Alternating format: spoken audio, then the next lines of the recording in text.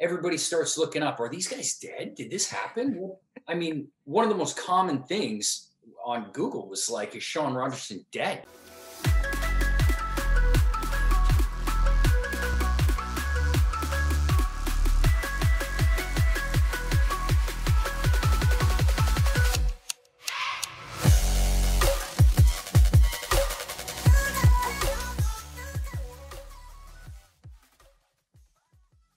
Hello, everyone. I hope you're all having a wonderful day today. My name is Tallal, and you are listening to the Popcorn and Soda Podcast, the show where we discuss all things movies, pop culture, and so much more. I want to thank each and every one of you for making me a small part of your day. On today's show, we are joined by a very special guest. He is one of Canada's finest actors with credits to his name such as Smallville, Harper's Island, 12 Rounds 2, Z, and the modern day classic, Grave Encounters. The movie, which is celebrating its 10 year anniversary, continues to be a shining light in the great horror movies of the 21st century. On the show today, Mr. Sean Rogerson. How are you, Sean? Pretty good. How are you? I'm doing well. Thank you so much for coming to hang out on the show today. It means a lot. How have you been these last 12 months? We're living in such a crazy world. What have you been doing to keep busy? And overall, how's your sanity in, in this time? You know what, man? I think it's it's probably like most actors would say. Um, most of us are recluses um, and, until we go out and have to socialize for business. But um, yeah, it's been pretty okay. I got a little one, so she's been keeping me busy. Um, you know, having her around all the time was pretty awesome during COVID. So I, I guess it's still during COVID. So, um, but uh, she's really young, so she's at school, and and and that's you know, it didn't interfere with anything with her. So um, yeah, I don't know. It's been it's been okay, man. It hasn't really changed my life too much, to be honest. Gotcha. And where are you currently? Are you out west or? Yeah, Vancouver. Vancouver. All right. Overall, how's the the scene in Vancouver. I know here in Toronto, we've, we've been on a strict lockdown for the last like 20 days. What's going on yeah. in Vancouver? Yeah, I've spoken with a few of my buddies there in Toronto, and they say how how tough it is. Um, Vancouver was good. It's you know you notice the difference from city life to suburban life. Like if I go out to the suburbs at the beginning of COVID, nobody was wearing masks. Mm-hmm. Everybody was super relaxed. Taking it seriously, but in the city, everybody's masked up. Um, and we did really good at that first, you know, uh, onslaught of COVID and kept the numbers down, and everything. And then, you know, everything got laxed. People went to parties. I can't yeah. remember. I think it was Halloween. And uh, then there was an influx after that. Um, people going to bars, parties, gatherings. Um, you know, and now we're like everybody else. Yeah. You know, restrictions on uh, not businesses. All businesses are still open. You can still go to restaurants and stuff. Oh wow. Just not bars and stuff, and you can't have uh, uh, people outside of your bubble in your home. Gotcha, so, gotcha. But other than that, everything's 2021 here. Uh, hopefully, sometime this year we'll return to somewhat of a normal. I guess you know, just keeping our distance and just following our basic protocols, right? Yeah, I mean, I I think it's going to go back somewhat to normal, but you know, we're going to have to deal with everybody not wanting to get the vaccine yeah. versus the people that want to. And eh, how can you, you can't, you can't make people do it. So it's just see, man, we just got to hang in there. yeah. Well, it'll be what it'll be. yeah. So let's dive right into your career. You've had such an interesting career, especially with some of the diverse roles and characters that you have played. So, where does this all start? What were some of your influences growing up and what made you want to be an actor? I was I was a movie uh like crazy person. Every weekend I would get some movies. I worked at three different video stores in my small town. And so I would get movies and I would go home and I would close my door if anybody knocked on that door. I was like in there and I want to I want to focus and uh, big influence to me was uh, Denzel Washington. I just like loved his movies, and I would honestly, I would lock myself in my room, and I would just like, just couldn't wait to feel whatever yeah. it was that would, you know, show up on that screen and give me it, I just loved it, man. I loved it.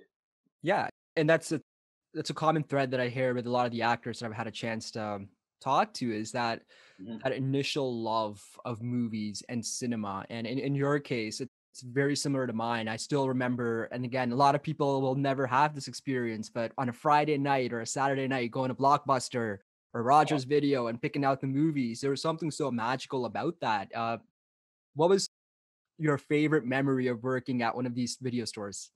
You know what? I'll be honest. It was uh, giving my opinion to people about what to rent. I loved it, man. Like people would be like, "Can you recommend anything?" And I'd be like, "Like it's so opposite of what customer service is nowadays in any Yeah. form." But they're like, "Could you?" I'm like, "Yes, get get that one, get that one." And like you said, that hopes that the one you wanted was in. You know, you'd go move that cover, and if it wasn't there, you're like, "Oh." And plus, I think it. um we wanted to rent stuff because of what first interested us was how it looked on the cover.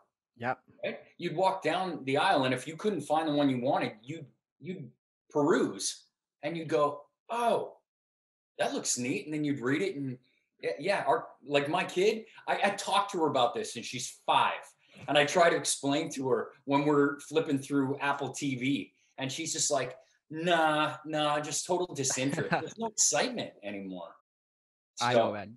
Yeah, Anyway. it, those those were some real good times, and now just everything is just so accessible to you at just a click of a button, whether it's Netflix, Amazon, Apple TV. For I guess for better or worse, things just continue to evolve. Um, and I'm Yeah. sure maybe 10, 20 years from now, there's going to be even something else that even takes this even further. Who knows, right? Of course, I'm going to show you something that I, Yeah, I look. pulled out of I pulled out of storage recently, and uh, I, I brought it out to show my kid because I was like, "This is what it was. This is what it was." Old uh, old VHSs. Ah, Superman 2, there we go. Yeah, man.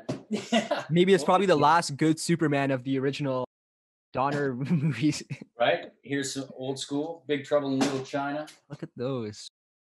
And I had a Monster Squad in here, which I don't know if you would have even heard of. No, I haven't heard of that one, but I've definitely heard of the uh, first two there. That, that's awesome. the- I have a couple of those in my basement as well. And I just saw like Yeah. Spider-Man 2 the other day, just sitting in VHS there, and I'm like, there's some kid who probably has no idea what this foreign object is.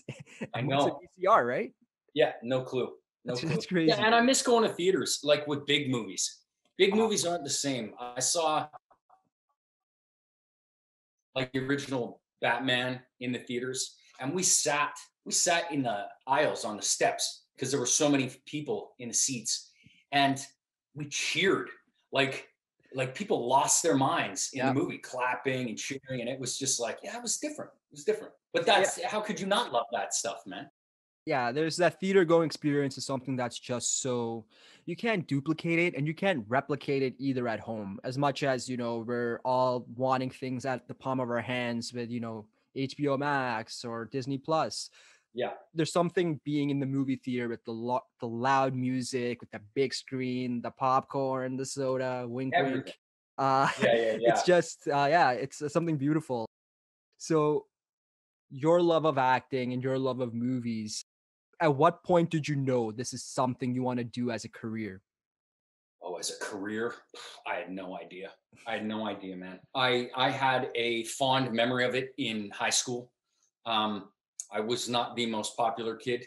I was very small, awkward, and I did a drama class, and uh, I did a scene in there, and it connected with everybody, and that was my first time I ever uh, had something so disconnected from myself that made me feel included. Mm. It was like an inclusion to the outside world around me. Um, anyway, fast forward, um, I'm working in the oil industry in Alberta, doing a desk job, and uh, bored, bored, bored, bored, bored, bored. And uh, I, I look at an ad in the paper.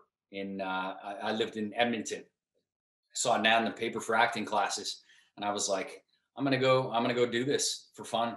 I've always wanted to do acting because I connected with that thing back in high school, and uh, so then I went to the acting class, and uh, that was it. Just kind of got the ball rolling. The guy's like, "Hey, do you want to come to Vancouver and try this out?" I'm like, "Yes, I do." So, what was your first acting gig when you first started off? What did I do? Um, my very first one. So I started off doing background work. Mhm. I got really involved in background. I I worked on this great horror film called Valentine, Okay. and uh, uh, it was awesome. It was my first taste of like being on a big movie set with stars that I'd seen, working up close with them. Um, and then, uh, you know, you go get an agent, do a couple commercials and stuff like that. And then I think one of the first TV shows I did was True Calling. It was Yeah, I remember that show. Wood, Yeah, very small, like one line part on it. And then I did a Canadian show called The Collector. Um, it was uh, a guy that was, uh, I think he's reincarnated or something like that. Uh, anyway, I don't know, but uh, it was my first, my first like large scale role. So it was good. That kind of that kind of got the ball rolling a bit faster. And Yeah, then, I- uh, yeah, and I then I worked on Underworld, Underworld Two. Yeah, it's another uh, big franchise there now. teeny, teeny tiny part, but it was great. hey, anything that gets your foot in the door and gets you uh, acting credit, right? It's Yeah, it's, it's all good there. Now, Yeah. what would you say is the biggest difference? Because Canada is such a big central film production hub, Vancouver, Toronto, even Hamilton now. Uh, what would you say is the biggest difference between the Canadian film scene versus the American film scene, if there even is one? Well, I think it's, I mean, in Canada, stars are not often made. No. So the celebrity aspect of things, it's starting to change now with these Netflix shows and Yeah. Amazon. And they're, I mean, they've had every studio out here, but it's that scene is a pretty young man's game still, young woman's game. Um, I've noticed a lot of younger actors getting quite large parts and uh, you know series regulars, which kind of starts moving them forward. Um, but I would just say the difference is is the scale. Everything down in the states is taken much more seriously with actors down there. What you find is most of the actors that I knew throughout the duration of time that I've been doing this that moved down to LA would go down there, end up getting parts, bigger parts, but that shoot up here. And the reason was is because they were down there, so directors, producers would take them more seriously on the acting front. Like these guys are really taking this job seriously, but then they could hire them in Canada because they could work as locals and get a discount. So it works in their benefit, but it works in the actor's benefit too. So, but yeah, it's a scale. I think. I think. I mean, to get the jobs, I the bigger parts. I think you got to be down there and put in your time. Um, but you can have a way bigger uh, regular career up here. Like Yeah, the people down in the states you look at famous people they got like 20 30 credits that's it you look at people in vancouver they have 130 Yeah.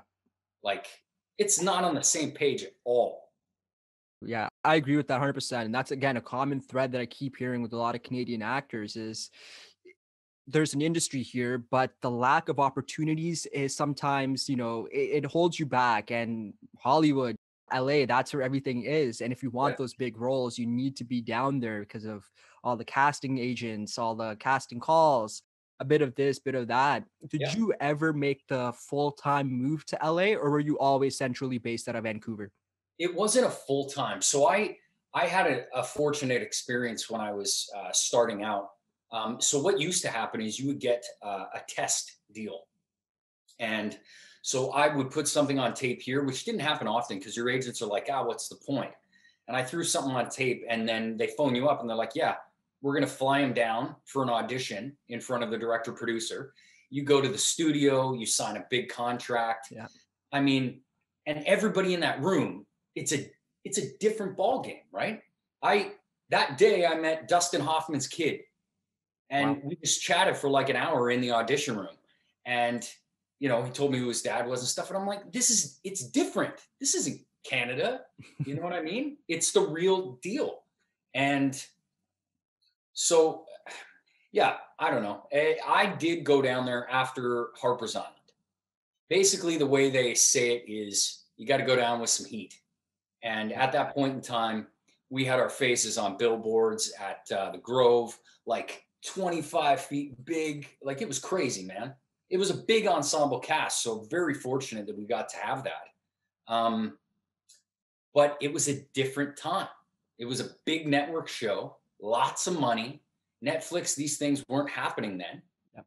And we premiered at a, a, a, a minimal number, 4 million, or I think we started at 8 million viewers, which to the network, a rerun of CSI would get 11 million viewers.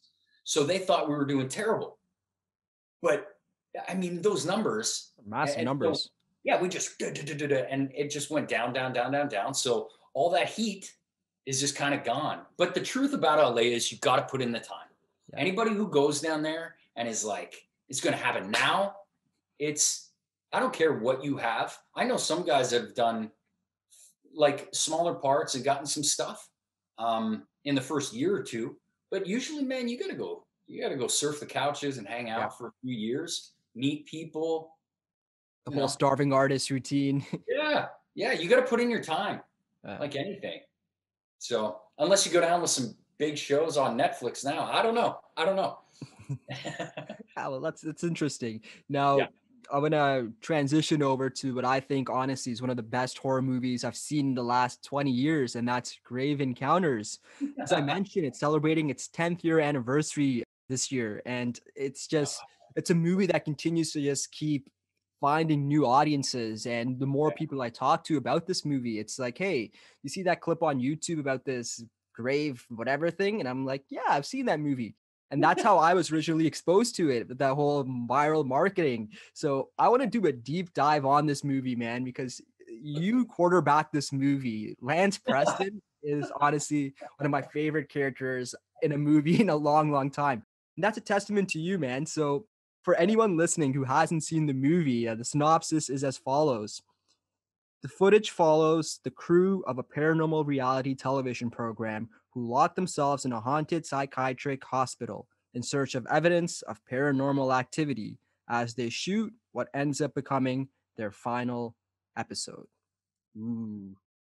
Ooh. I hold this movie in such high regard, and I truly feel like since maybe the Blair Witch Project, that a movie hasn't come along that's pushed the genre of found footage this far and it's just a smart movie it's so meta overall with just how it's presented so let's talk about pre-production production and then post so when were you first approached for this project by the vicious brothers and what was their original pitch to you um so the first i first got pitched it by a casting director i knew uh, Laura Brook, and she just kind of hit me up and was like, "Hey, these guys are doing this movie. I think you'd be good. You should go out for it."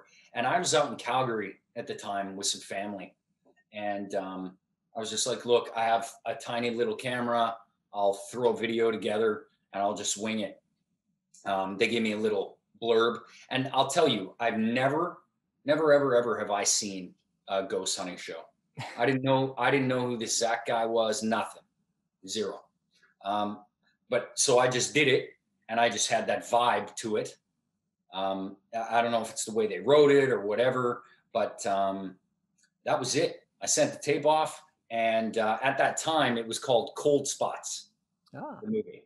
Yeah, and um, yeah, they just uh, phoned me for uh, a conversation uh, when I got back, and they didn't call me in after that. They were just like, "Yeah, we, we want you you know, yeah. because they were holding auditions out here.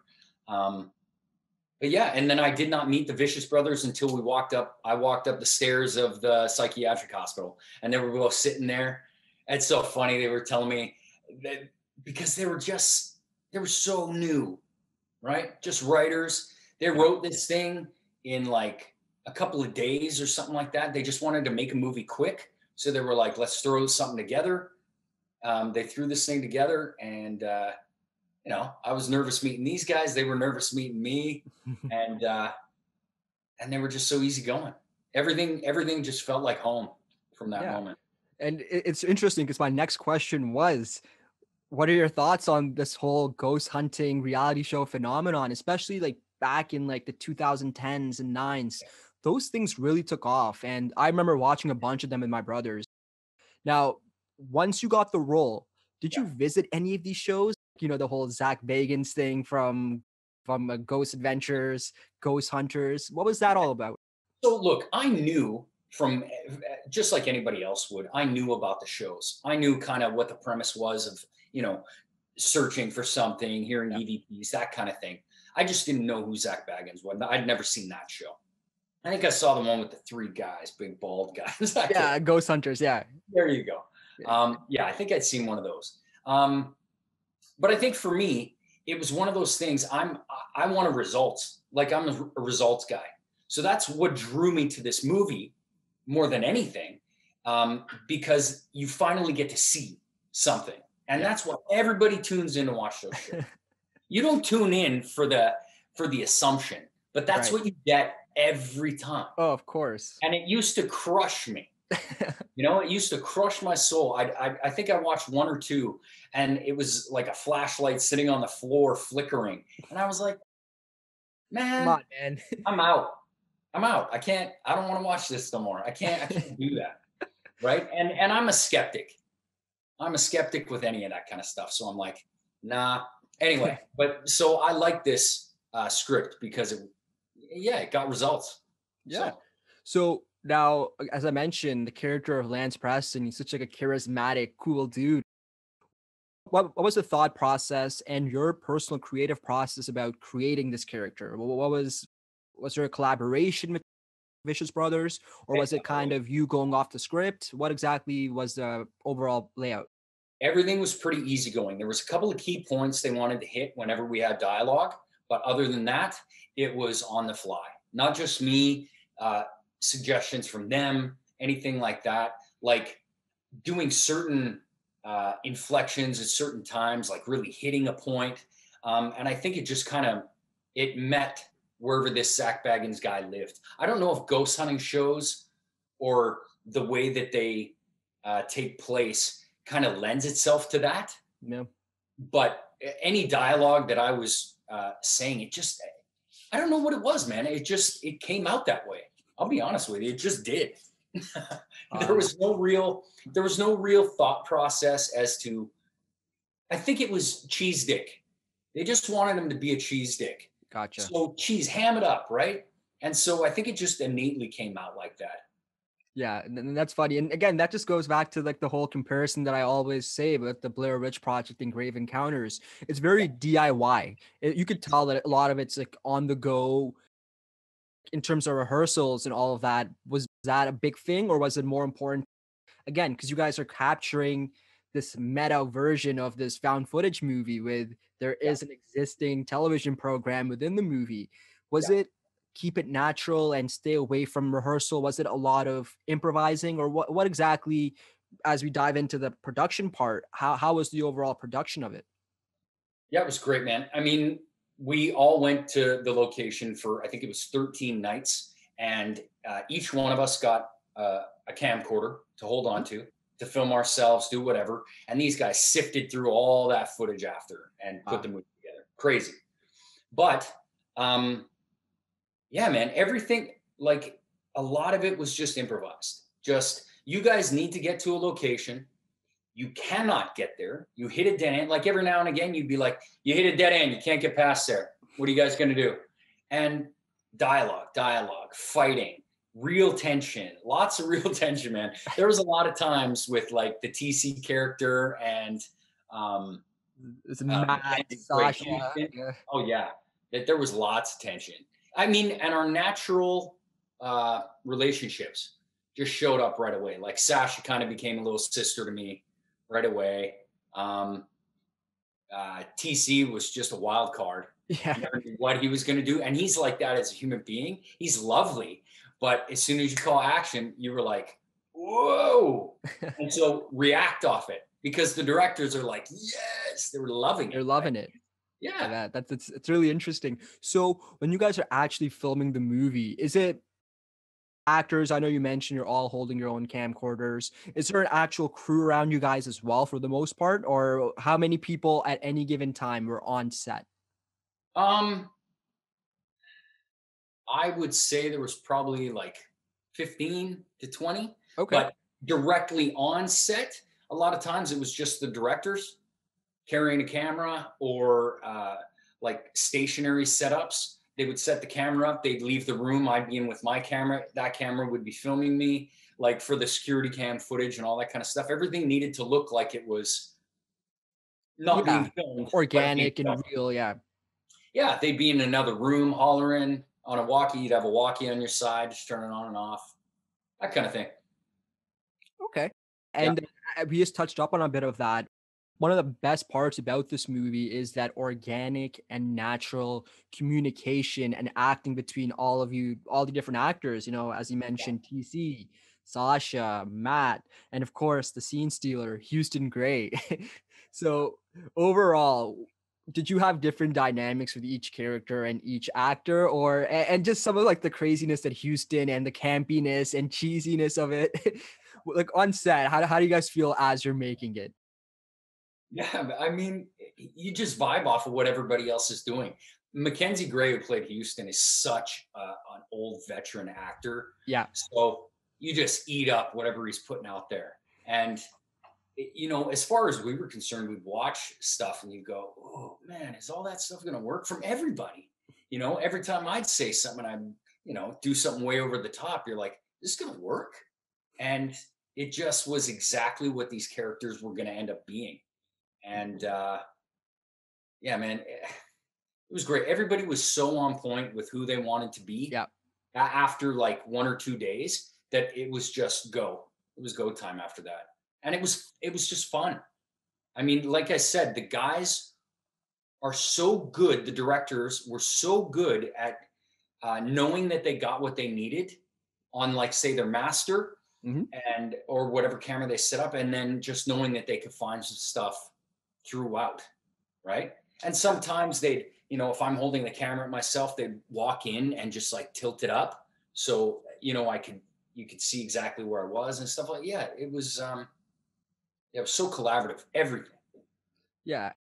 And, and it shows it really does in the movie and just it's an ensemble cast.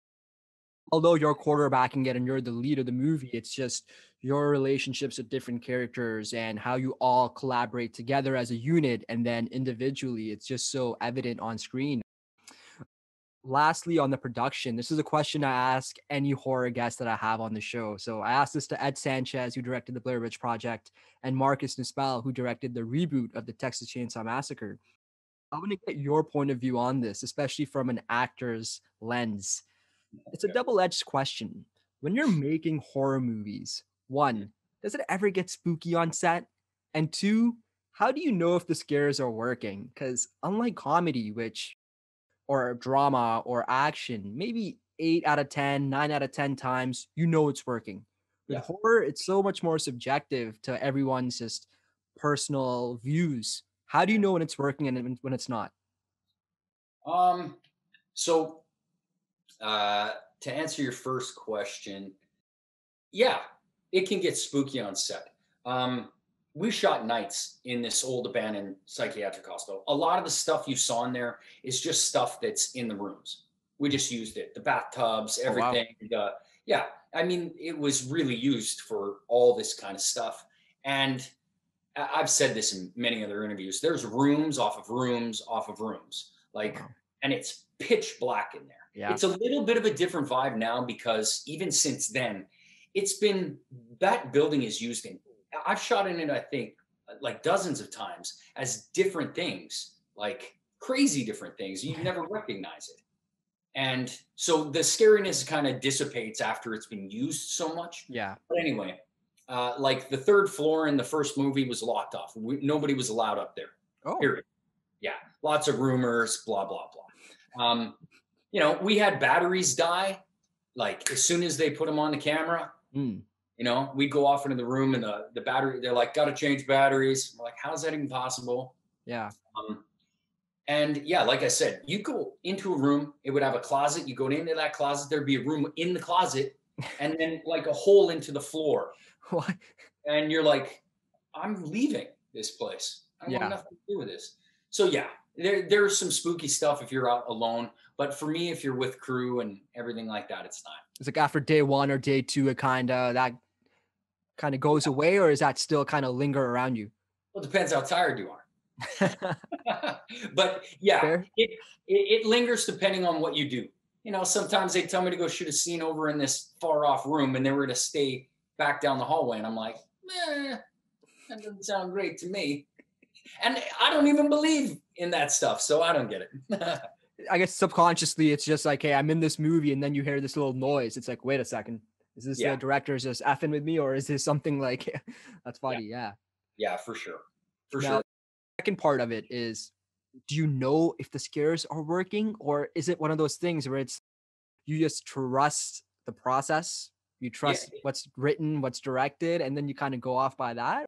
Listen, man, I was a skeptic the whole time. From the time when we sat down and they started to show me the renderings of the ghosts and stuff like that.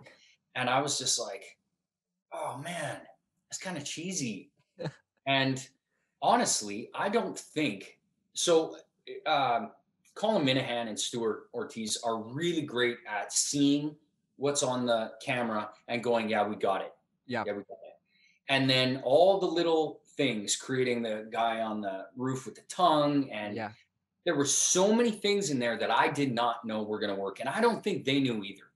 We all went to the premiere at Tribeca Film Festival and sat in the back in the audience and and really watched it work for the first time. We and we got out after and we're like, man, people were laughing, they were terrified, they were like it was everything. It ran the gambit. So I don't know if we ever really knew until you know you screen it type of thing. That's so true because again, when you're in this movie and as you mentioned, you shot for it like what, like maybe two weeks. Yeah. It's just in and out kind of a process. And it's it's funny because I find that there's so much humor in this movie as well, as you mentioned. It's you got best of both worlds. There's a lot of humor within the cast, within your interactions with each other. And then there's some genuine scary scenes, especially that girl that this show and, and she's the thumbnail on the YouTube video and everything, where her mouth opens up wide, or even the trippy ending there, man. When when you're shooting some of those scenes in those hallways in the basement or it, those little tunnels, That corridor, that tunnel is bizarre. yeah, that looked bizarre. Yeah, I think they used to run like food and stuff from because there's buildings up on hills and it those tunnels go like up Kind of connect everything together. But they're super dark, super wet, super uh, yeah, yeah. I wouldn't hang out down there. No. No, uh, neither would either. So now you guys wrap up the movie, um, and now diving into the post production of it. Before the movie even launches, they launch this viral marketing campaign that just goes on YouTube. And again, we all know how big social media and viral marketing is today in 2020.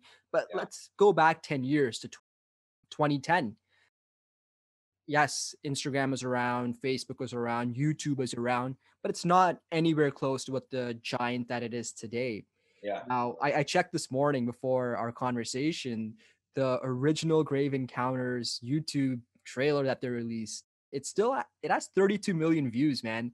That's Wow. still massive. That's bigger than most Hollywood blockbuster movies till this day yeah. it's wild, man. And especially like what was your reaction when you started getting word or you started seeing some of these viral marketing pop up here and there? Were you like, what the hell's this? Or were you kind of like, whoa, they're really onto something? Everybody was. That was not a plan, right? Mm, that was I, i'm pretty sure i don't know for sure if colin had like this this guy that they sent it to um, i can't remember where he was just some like marketing guy in egypt or some, something like that and he put this thing on youtube and then it just that happened in a month there was over a million views and everybody was like, "What?" And I think it it ended up starting to do what Blair Witch did because I was a big Blair Witch fan, big. Like, uh, there was a young guy from my hometown who was an actor out here on a show called Breaker High. he was friends with one of my buddy's older brothers. Well, somehow there was this tape floating around in Hollywood of this Blair Witch. Nobody knows if it's real. Nobody knows if it's fake, whatever, but it's a VHS cassette. And he's got a copy if I want to see it. So the legend was born before the movie was seen. Yeah.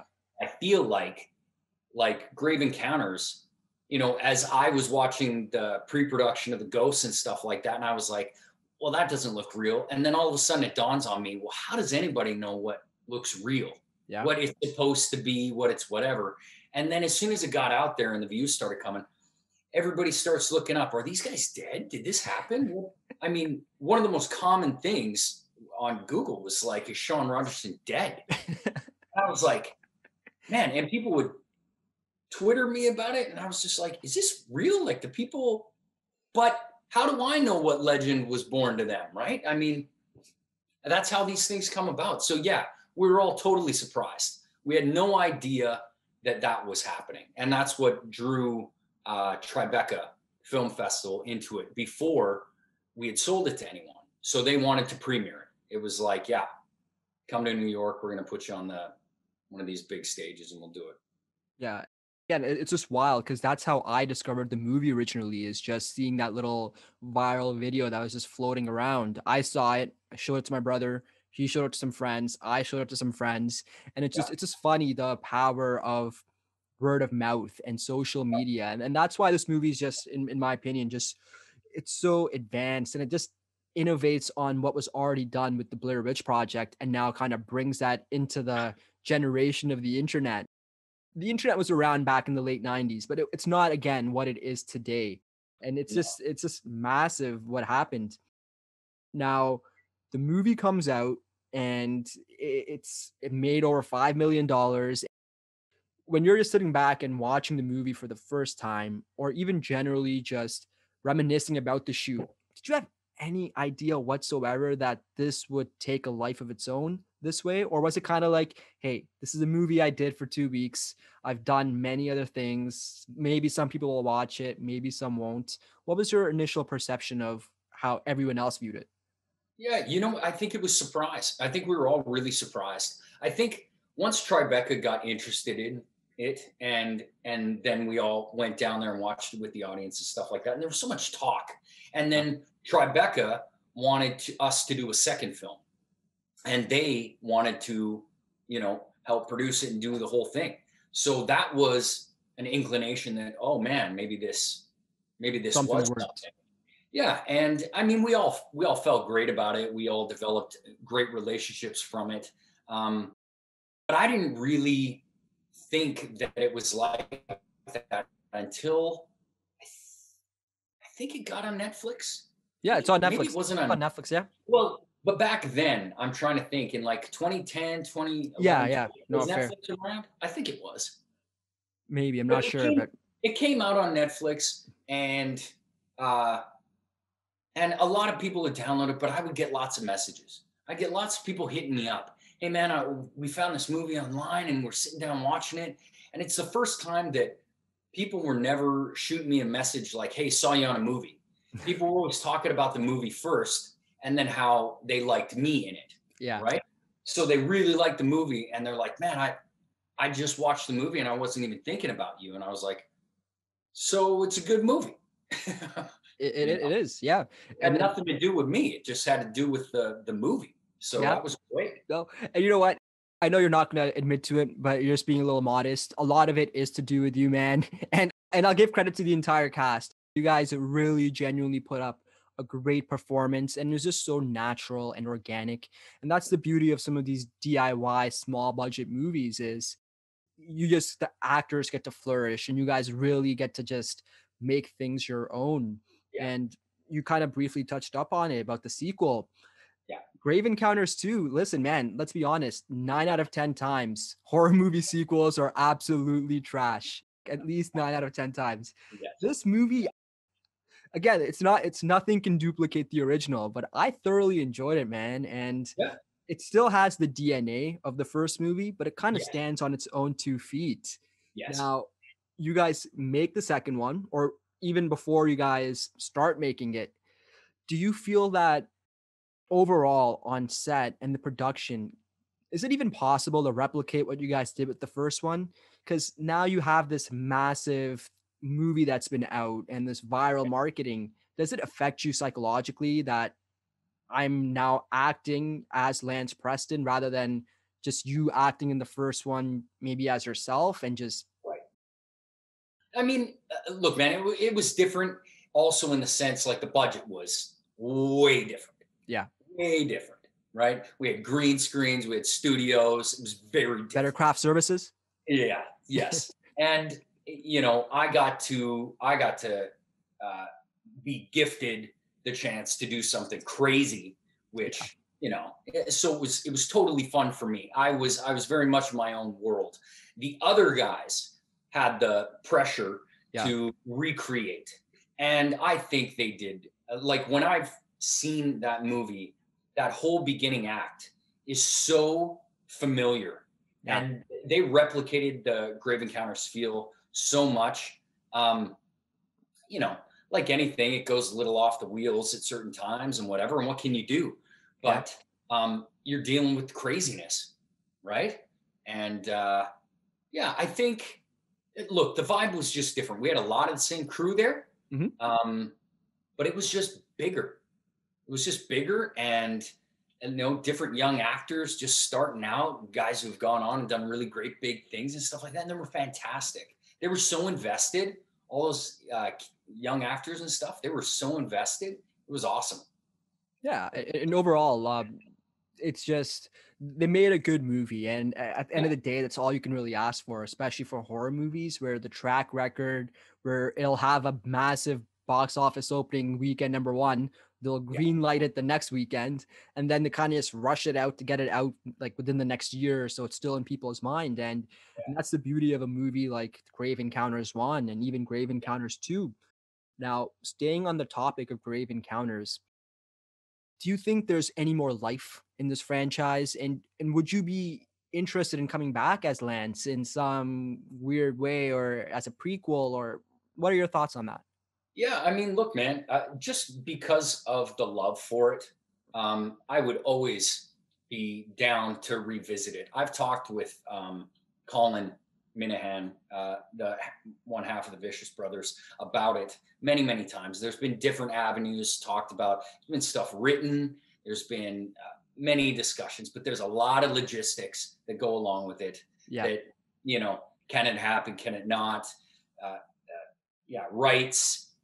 Things are all over the place. But um, yeah, there's story there, man, and especially with like the anthology series and stuff like that of what's happening nowadays, like American Horror yeah.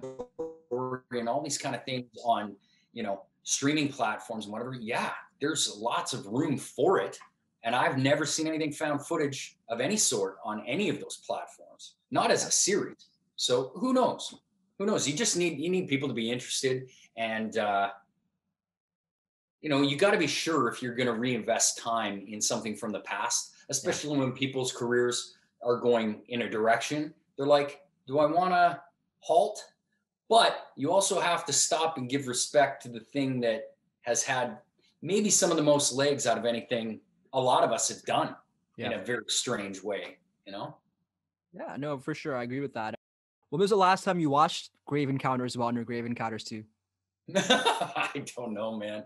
It, it would have been, oh God, I couldn't tell you. I couldn't tell you. I, I it's got to be over. Do you do you rewatch a lot of your work, or is it kind of like you you do it, you put it out there? Like a lot of actors, it's I don't want to say cringy watching yourself or your two self.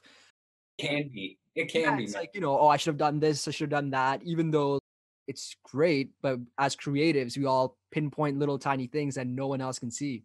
Yeah, listen, man. Here's my theory on that: is as an actor, it's not about us. It's not about us at all. We we are a vessel for the directors and the editors and the writers. That's it. So when we go on, you know, when I watched movies as a kid, I would want to feel something. And that was the gift. And mm-hmm. I would admire the actors for giving me those feelings, right? And a lot of actors that I talk to, they do a scene on set and they're like, oh, I didn't really feel it, whatever. And you go talk to the director and they're like, that was great, man. We got it. We got it. So in the end, it's not about it's not about us, right? It's about what everybody's interpreting from our story. You're just a storyteller. So as far as people getting cringy watching themselves, well, you got to not watch yourself. You got to watch the show, right? If you can watch the movie and what you can do is you can learn from it. You can pick out some things and go, oh, I could have done that. So next time I know that I don't need to do so much. But it's still, it's not about you. If you're gonna look at something, you look at it for research, but you don't you don't look at it to judge, man. You gotta watch the story. Because it's everybody else's work. There's so much more work goes into it. So yeah, and that's interesting. I've actually never heard that perspective of it. Um, yeah, and, and again, like to the maybe the average person who doesn't have a love for film and cinema like you and I do, a lot yeah. of them to them they don't know what a DP is or what a, a producer does or a yeah. line producer. And I, I guess once you're in this medium, it's almost your responsibility to acknowledge them and acknowledge yeah. their work. Where once you put your presentation out or your skills out, it no longer belongs to you almost. It's, it's yeah. part of this big story that's ultimately being told in the movie. Yeah, it seems like that. Yeah. It's it, acting is such a, I mean, it was a big learning curve for me and it's still, it never ends. Yeah. And you're always self conscious and you're always wondering. But look, man, I've asked directors, you know, when I was younger, I'm like, you know, he's giving direction to somebody else. And I'll be like, oh, excuse me, is, is everything okay with me? And he'll be like, if I had anything to tell you or to change, I'd let you know. and you're like, what the heck? Right. And so now it's just developed into, you know, as soon as the scene's done, uh, you kind of lean over and you go, you guys got it? They're like, yeah. They're like, cool. I don't care how I felt about it. I don't care, man. I, I'm just like, if you're good, I'm good. That's it. On. Nice and easy. As you transitioned over from Grave Encounters to Sean Rogerson yourself, what yeah. would you say are your top three favorite movies? If you can't narrow it down to three, maybe give me a couple more. What are the three movies you can rewatch over and over again? I almost don't want to say it, man. I'm a I'm a shut guy. Um, a lot. A lot. Not all the time. I used to be much more into like I want to sit down and I want to cry. That was like my shows, right? Um, but now I'm like a Marvel guy, man. I oh, like oh, yeah. to just sit and just watch stuff that's fun. Yeah. And it doesn't it doesn't make me sweat nothing. It literally will just take up my time. So I'm a big uh, Marvel fan. Um, but as far as movies that I would rewatch, what comes to mind? This again, this the generation changed. I used to just pull a VHS off of my shelf of VHSs and do it. And now you start flicking and you go you go buy all those ones because there's something new you haven't seen. Mm-hmm. Um, I honestly don't know if I can tell you what I I rewatched, but it's depressing. I rewatched The House of Sand and Fog, which is like this deeply depressing Ben Kingsley movie. Oh my god. But fantastic acting and just of course. Sometimes yeah, sometimes I just want to feel, man. Yeah. Sometimes I just want to. You know I, mean? I, I have seen Titanic maybe once or twice here and there. I just want to feel. yeah, you know what I did? I rewatched a series on Netflix called Kingdom. Yeah, I've heard of that. I've heard of that. Oh, dude, listen, do yourself a favor. Okay, I watched it two times, like straight back to. Is back. that the mixed martial arts one? Yeah, yeah. And listen, I'm not a I'm not a bro bro. Let's throw down type of guy. None of that stuff gets me. But the the creator of this show gave each character so much that and and they live in it and every man it, it's such good tv yeah Ch- do right. yourself a favor and check for everyone listening check out kingdom uh I've heard a lot of good things about it as well, and Jonathan that's the thing. We're like in this like golden age of TV where yeah. they're putting in so much money into these like ten episodes here, ten episodes there, and they're it's pretty much a film production at this point, right? Oh yeah, and they have way more money. it's oh, crazy. Of yeah. course. Now, I, am going to hold you on to this since you're such a big figure in the last ten years in the horror movie genre. What yeah. is one or two horror movies that just scare the hell out of you? so I won't. I watched uh I won't even watch the trailer for The Grudge. Those movies. It's a good one though. It's a good movie. When those things like come out of the back of the head, oh, I'm like, no go. And and and I'm talking old school. This is old school to me because I'm not I'm not fully on uh, board with the current stuff. But I was a big fan of Amityville. Yep. Uh, and uh, what was that other one? Oh, The Ring.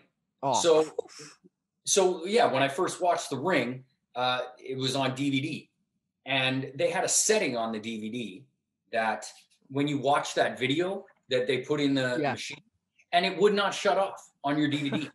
like you couldn't shut off your DVD, wow. and I I put it in uh, all cool and stuff, and put it in and played it, and then I was just like. yeah, I'm like, some of the "Yeah, images and stuff in that little video. Yeah, Yeah. And I'm like, I don't need to watch it. And then I started like clicking buttons and it wouldn't shut off. So I unplugged the machine. no, it's funny because I have the VHS of The Ring, and before the movie starts, they show that little 30 second, 45 second creepy imagery with the Samara girl. Oh man, that that shit just scares you, man. Which is starts- literally the opening credit scene to almost every new TV show out there. It's like all like horror TV shows and stuff like that. They show things like ripping apart and it's Yeah. all slow motion cartoony. And you're like, this is all disturbing. yeah. So I know you mentioned just now that you're not all in with the new crop of horror movies. And, and I agree with that. A lot of them rely on jump scares and there's not much depth I in can see I don't jump ever. The I don't know if it's because I've always kind of been like this. The the music, the the The atmosphere pauses, yeah, the atmosphere, the pauses, anything. I'll, I'll be sitting uh, with my kid and I'll be just like, you know, be careful here. Why? Boom. I'm like, you could just ah, it's a mile away from me. I don't know. So- I've always been that way. So, is there a movie that sticks out in the last 10 years that maybe somewhat got you to a point where you're like, you know what, this movie's actually pretty good? The Conjuring movies or Annabelle or anything like that, Sinister. Mm, mm, mm, mm. Which did I? Oh, in the last how long? Like 10 years, you would say, like in the last decade. Is there anything that, that stands out? I can't remember the name of it. Where the guys come in the masks into the the house out. Oh, middle The Strangers. that. That that's a good one, man. I- It literally made me not want to ever live somewhere far away. On my own. like I just, uh, that's such a real basic thing to me. yeah. anything that's not poltergeisty or ghosty and stuff. Because, like I said, I'm not a big uh, believer in that stuff. Yeah, but like the paranormal. real deal. You know what I'm big time into right now is uh, like uh, docu series. So the real, the real deal horror, you know, and that stuff freaks me out. And it's that kind of stuff, like strangers. Just like, oh man, And that's interesting. that's gonna that up. affect my. s- That's very interesting.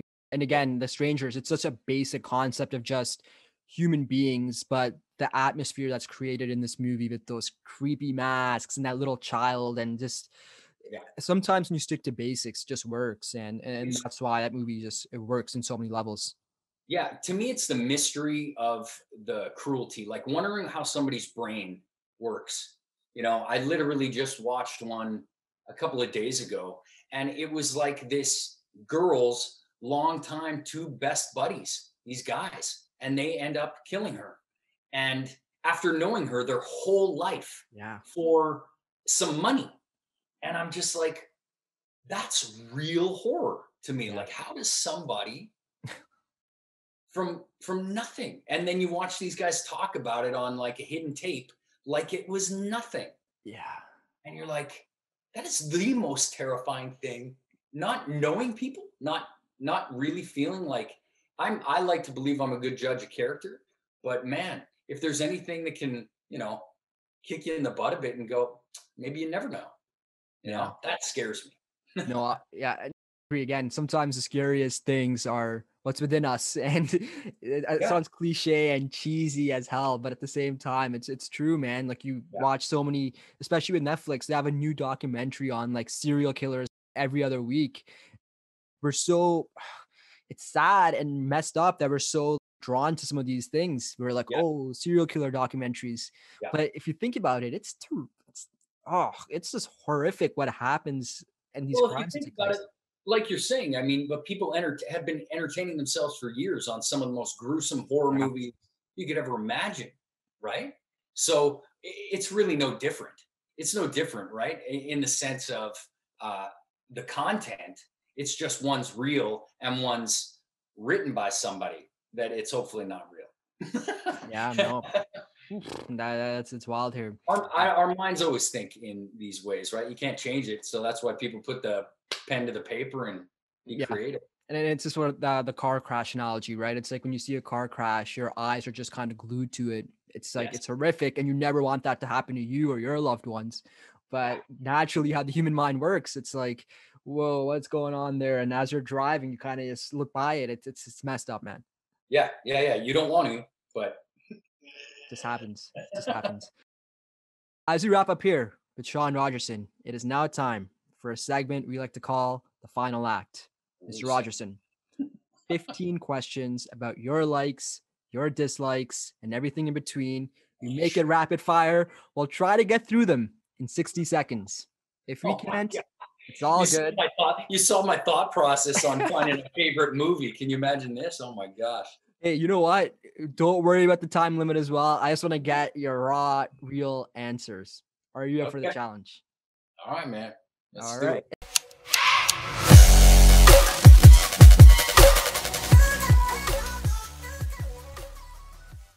Movies or TV shows? Uh, TV shows, Theater or watch at home? Theater. What was the last movie you watched at a theater? Oh, geez, where my brain doesn't work. Uh, it's got to be a kid show, probably like Frozen Two. Frozen 2 it is. What's one sequel better than the original? Uh, Grave Encounters Two. No. Uh, yeah. Um, right into that one. yeah, Uh, yeah. Now Superman Two, like we were talking about earlier. There we go. Superman 2. That's uh, man. definitely not Superman 4, Quest for Peace, or whatever the hell it was called. Uh, what's the best trilogy of all time? Ooh, probably Indiana Jones. Should Hollywood reboot Back to the Future? Absolutely not. Never. Ever. Expand ever. on that. I, you know what? I hear that answer every time, and I never. We'll pause the time here for a sec. Do you think that it's just some movies just are meant not to be touched, or do you think that hey, you know what? People will still have the original. We can make something new out of this. Yeah. Um, I just think that we need to start sticking to original content. That is why I think eh, there are so many disappointments, is because there is no originality anymore. They're just trying to remake for Sequels, the reboots, remakes. you here's the problem you cannot remake a movie that was put out at a time when everything was brand new Yeah. everything was breaking ground right every one of these classic movies that we remember goonies uh, back to the future Yeah. et Jaws, whatever. star wars all these things you can't you can't make a star wars again you can't make those things look new i Yeah. don't care what you have right james cameron's trying to do this stuff with his avatars but you just can't you can't relive these moments and we have to not make them like that because they will never live up to the real deal plus michael j fox could never ever be even close to replaced Christopher never. Lloyd as Doc Brown. Nah. Christopher Lloyd, never none of it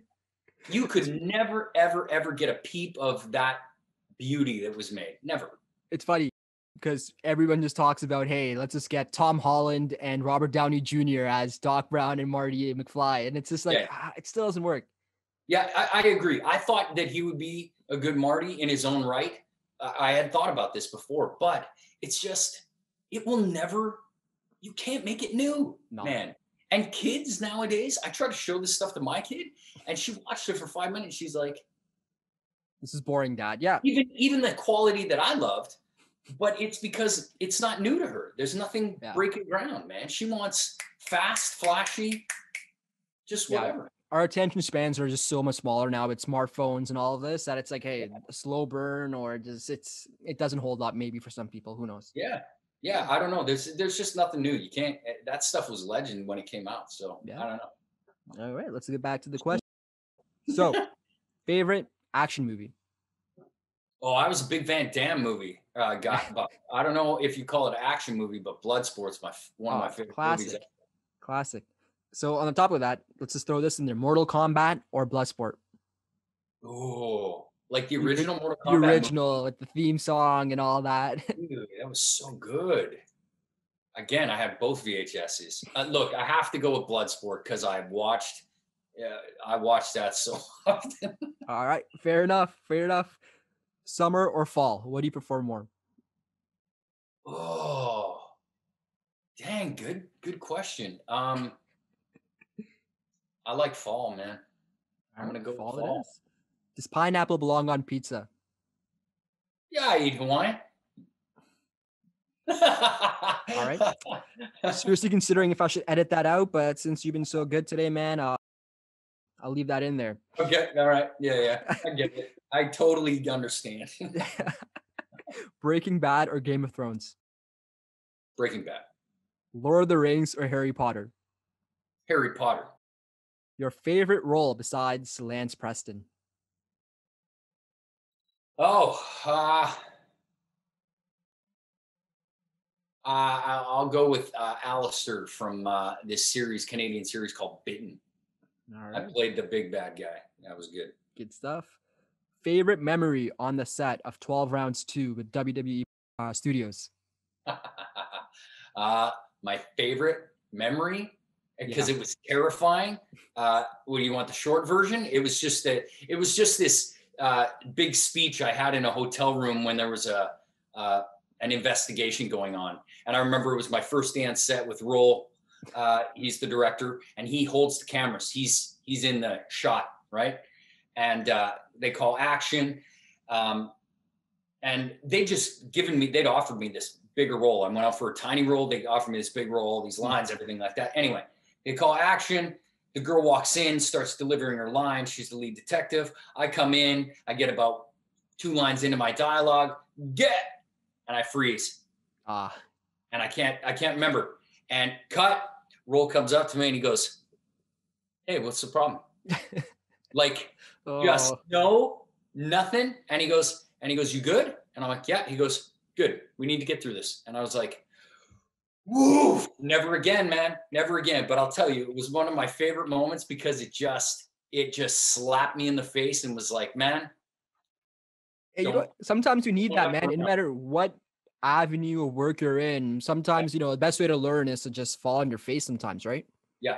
Yeah, and I didn't know who Randy Orton was. Otherwise, I'd say it was the day I met him. But Yeah. My next know who he was. question. Yeah. Well, how was he on set? Was he a cool guy, or was he just like? uh, Oh like, man, I've, I've they're wrestlers, right? weird- They're like, you know. yeah, I've had this weird thing with wrestlers in my life. I, I was at a bar having a cigar, chatting with uh, uh, Triple H when I was What? younger. I introduced him to the Trailer Park Boys, and then I did uh, this TV show Psych with uh, John Cena, Oh, and so. I got to spend a week with John Cena, who's the biggest human being on the planet, and then uh, Randy Orton, who my friends got me to get autographs for their kids because I didn't know who he was. Hey. But yes, they're all cool and they're all gigantic human beings. Oh, it it definitely looks like it. Yeah. Yeah. Now, favorite characters besides Lance in the Grave Encounter series? Um, so I was, I don't know his name in Grave Two. Uh, it, it's played by Dylan Playfair, Okay. one of my favorites. Hmm. Um, he's the the dopey dopey guy. Uh, Sounds jock. familiar. I, I don't remember the name of his character, but I know what you're Yeah. talking about. I know what you're getting. Um, and then uh, I'm gonna say everybody in Grave One, everybody, straight across the board, man. All those boys, all Fair. those girls, they were awesome. All right, this is gonna be a tough one. Grave Encounters one or Grave Encounters two? Not grade one, man. And Grave one. lastly, describe Grave Encounters in one word. Unexpected. Bam. We made it through the final act. we made it through the act. Maybe a bit more than the 60 seconds, but it's all good. We had some nice Yeah, insight in there. We got some in depth about Triple H loving cigars and just your love of wrestling and or lack of wrestling. I don't know. No, you know what? And I loved wrestling, man. I loved it. But I was the rock time, I was like uh, the Hulkster. Attitude Era, as So I they didn't call know the next generation. Yeah, in the late '90s, Stone Cold, The Rock, Triple H, Oh, yeah. Shawn Michaels, NWO. man. Oh yeah. I went to Yeah. I went to those things, man. I got crazy. Bro, I I grew up on that, especially when you have three other brothers. Like that's all Yeah. we did. We watched pro wrestling growing up. That's Oh, that's yeah, awesome. it. I love it. Sean, where can we find you online? Uh, just Twitter, just Twitter, man. That's about the only thing I use for uh, social media. It's I'm such an old man now. Yeah, Twitter. I started, I think, when Grave came out, and that's about it. All right, you can find Sean on Twitter. Hey man, thank you so much for being a guest on the show today, and Yeah. thank you for your contribution in the creative arts and especially the Canadian film industry. You, you've had your hands on a lot, and man, trust me, Grave Encounters is a movie that it's the first horror movie I recommend to anyone who asks me, "Hey, is there a horror movie that I can watch?" And I'm giving you guys full credit for that, and especially you. You killed it in that movie. I, I'm proud that it was a Canadian production and that you know we made a movie that will hopefully stand the test of time. Yeah, well, I think it has, man. And I'm the same as you. I honestly, I never uh, just eh, offered up uh, that I was an actor and like recommended a movie to people ever until Grave Encounters. And I was just like, you know, people are, like, oh, you act? I'm like, yeah, yeah, man, you should check this out. I, I always, always, always, man. I was very, very, very proud of being a part of that. So Good thank stuff. you. I Thank you, appreciate it. man. Hey, stay safe. And you know what? One day, man, when the world opens up, we'll have to do this in person. We'll get you out to Toronto for a Grave Encounters showing at midnight in a theater somewhere, and Yeah, uh, that'd be awesome. Okay, that sounds very cool.